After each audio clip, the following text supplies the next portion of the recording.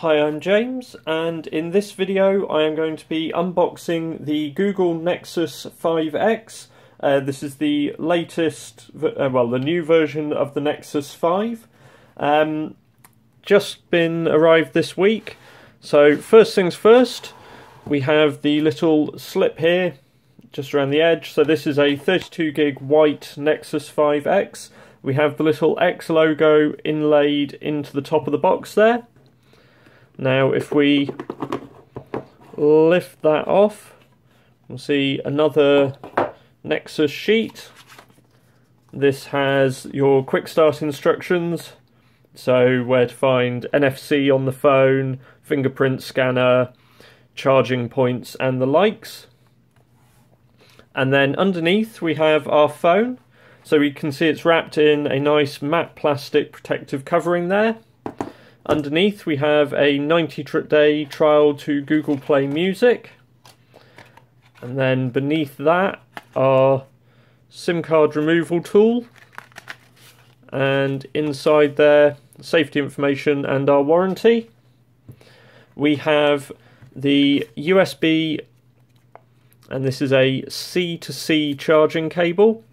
So we'll see on each end, this is the new USB-C connector which can be inserted either way. And then our charging plug.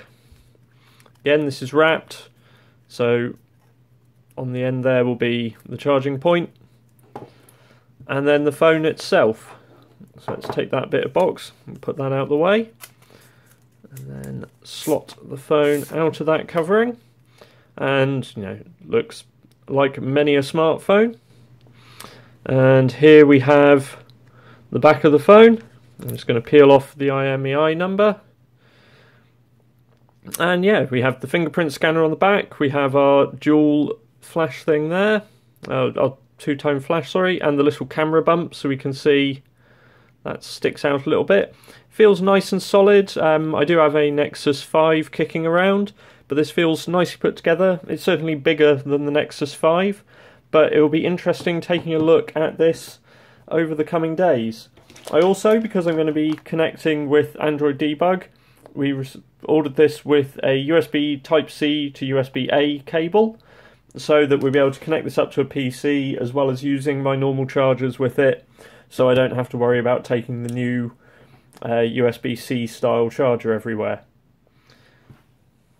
And speaking of the Nexus 5, the original, we can see here you've got a bit more height in the new 5X. Very similar width, just a tiny bit wider. And